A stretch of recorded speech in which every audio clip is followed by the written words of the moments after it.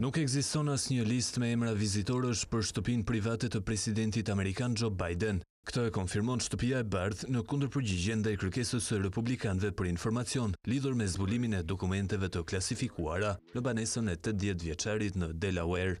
Një zyrtar i kabinetit të Biden sqaroi se nuk është praktikë standarde që të mbahet një listë me emrat e vizitorëve të shtëpive private të presidentëve. Të paktën njëzet dokumente sekrete janë gjetur në banesën e Biden në Delaware dhe në një zyrë private të përdorur nga ai në Uashington. Dosjet datojnë që nga koha kur ishte zëvendës president nën administratën Obama. Disa prej dokumenteve mbanin vulën Top Secret, niveli më i lartë i klasifikimit, sipas një raportimi të medias CBS. Në bazë të ligjeve amerikane, të gjitha dokumentet e Shtëpisë së Bardhë duhet të dorëzohen në Arkivën Kombëtare në përfundim të çdo presidence.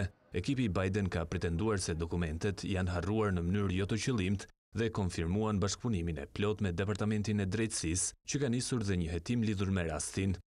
Sa i përket kërkesës së republikanëve, që kërkojnë të nisin dhe një hetim në Kongres kundër Biden, Shërbimi Sekret Amerikan ka konfirmuar të njëjtën gjë si Shtëpia e Bardhë, që nuk mban një listë me emrat e vizitorëve në rezidencat private të presidentëve.